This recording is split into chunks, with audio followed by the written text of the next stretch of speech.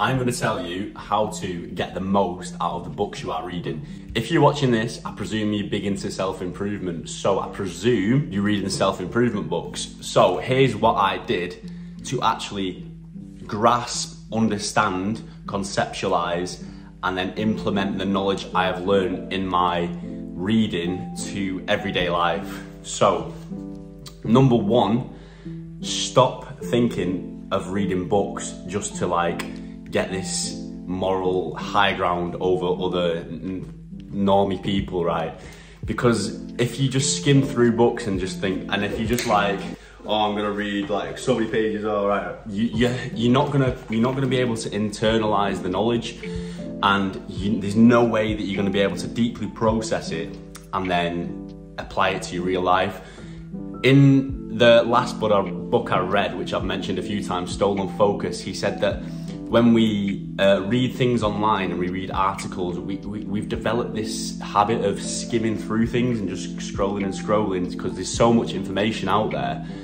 Um, you compare it to a time in the past when people used to read newspapers, that the only thing that they had to read all day besides books was the daily newspaper. So they could have time to read it slowly.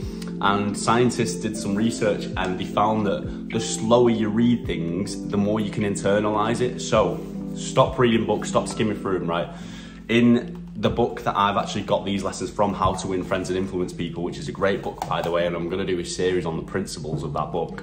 Um, he mentions that you should read each chapter twice before going to the next chapter and also underscore the most important ideas in the book. So then Say if you find anything interesting in the book, underline the piece of information that you would like to retain, and then when you're skipping back through the chapters to re-go over it, you can save yourself a lot of time and just go over the lines of the book that are actually relevant to your life and the things that you can apply to your life. But like I was saying about the slowly reading, yeah, you have to you have to read things slowly, and then as you're reading it, stop and just let your brain process it, and then also think how you can how you can use these things in your every day-to-day life because let's be honest we're not we're not we're not doing self-improvement. We don't want to grow. We don't want to just we don't want to just find these things out and then just like bury it. We actually self-improvement isn't just reading for the sake of reading it's reading to implement implement these things into your life. To live a better life. So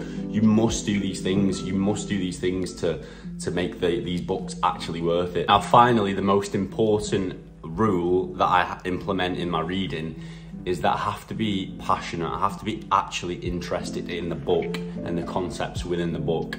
I read a book referred to me by a YouTuber called Joe Delaney a few years ago, and it was called A Short, Hi- a, sh- a Brief History of Almost Anything.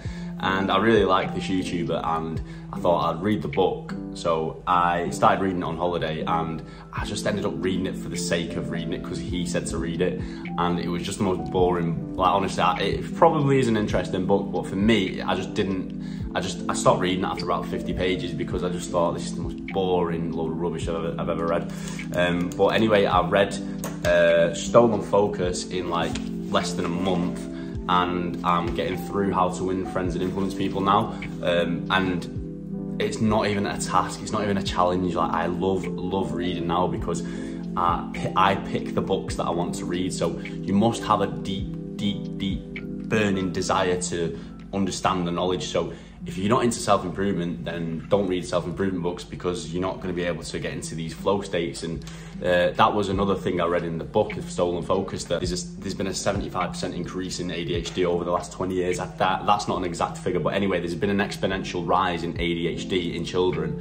And one of the concepts of the rise in ADHD, one of the theories of the rise in ADHD is that we we are, we're now teaching children just things that they don't want to learn. And when people aren't interested in things they they just get distracted easier easier. Uh, when you actually like are interested in something and and I'm interested in self-improvement you can follow along and you get into these flow states. And maybe kids aren't biologically predisposed to getting ADHD maybe they just don't care about the subject just like if you put me in a history lesson now maybe not history, like a geography lesson, lesson, lesson now, I'd switch off. As good as my focus is, I'd switch off because I don't I don't care. I, I don't care about geography.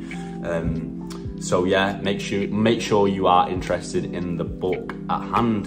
And that is everything. So I'm gonna actually do a series on how to win friends and influence people, um, mainly to so I can actually integrate the knowledge because they say that you should have a duck on your table, right? Like a rubber duck. And when you when you uh, learn something new, you should try and explain it to the duck as if the duck was a human. And basically, what this means is that when you can explain something to a higher degree and it makes sense, that means that you actually understand it. So I want to just speak to the camera as if I'm speaking to a rubber duck and explain the concepts that I've learned so I can actually understand the knowledge and just to confirm that I've understood the chapter and then also you can benefit off it as well. So if you want to watch that, subscribe and peace out boys.